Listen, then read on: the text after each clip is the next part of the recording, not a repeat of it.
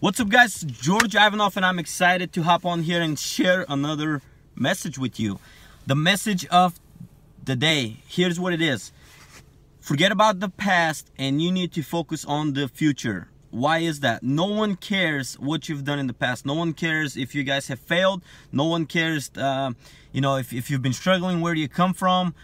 It doesn't matter. You guys need to focus on the future. That's the only way you're going to be fulfilled. That's the only way you're going to be happy. That's the only way you're going to grow, which is exactly what you want to do. Okay? You can't continually continuously focus on your failure on, you know, on on on previous things that you've done. You're living in the past. That chapter of your book is done. You've read it. You've completed it. It's time for you to move on. It's time for you to write the next chapter in your book. It's time for you to see where you want to go. Okay? It's time for you to stop for a second and think about where you want to go.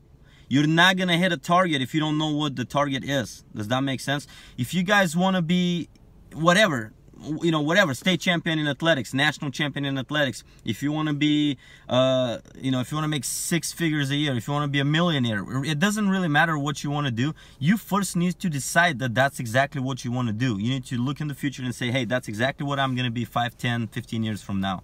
That's the only way you guys are going to give yourself a fair chance of achieving that. And that's just the first step of it. But if you don't begin there, you're never to reach that point. You're to live in the past. You're to be depressed. You're to be lazy. You're to be tired. You're to sit on the couch and wonder what happened with your life. 10 years from now, you're to look back on it and say, where did the time go, right? Well, you didn't maximize it. That's where it went, okay? It's dead. so you guys need to focus on your future. Sit down, plan your future, decide what you want to do with yourself so you can hit the target. You guys are awesome and take over the world.